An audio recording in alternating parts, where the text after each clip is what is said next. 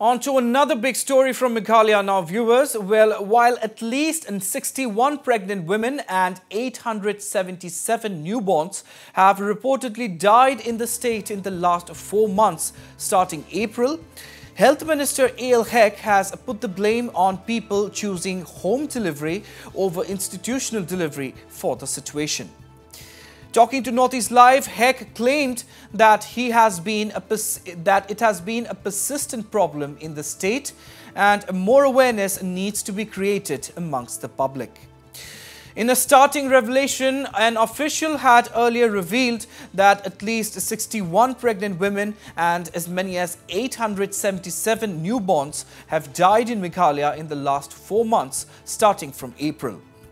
As per reports, several deaths happened due to want of admission to hospitals and also due to lack of medical attention because of diversion of health machinery to fight COVID-19. Many of our mothers, pregnant mothers, those who are there in the uh, their own respective district and places, they are still like to deliver the delivery at home. So that is not safe.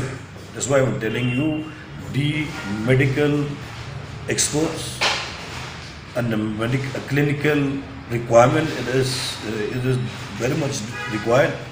That's why we need to encourage them and tell them give public awareness, give the sorry the awareness to the mother and the pregnant mother. They should come to the institutional for the institutional delivery.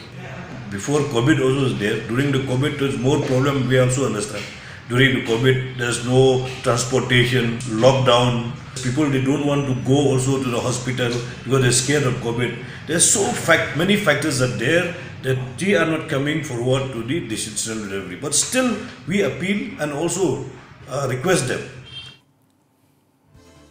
Meanwhile, the Meghalaya Legislative Assembly Committee on Women Empowerment is all set to raise the issue with the state government. Listen in. On one hand, you have 841 child children dying at birth, 61 women dying at birth. Investment of the government is almost zero. Whereas there were just eight or nine deaths related to covid. Government has sent 20 has spent 23 crores. So you can see that this imbalance is apparent and it is there for all to see. We will be taking up this matter in a big way with the government of Meghalaya because this is an, an alarming indicator. If this is happening in the capital city of the state we can imagine the predicament of facilities everywhere else in and around the state of Meghalaya.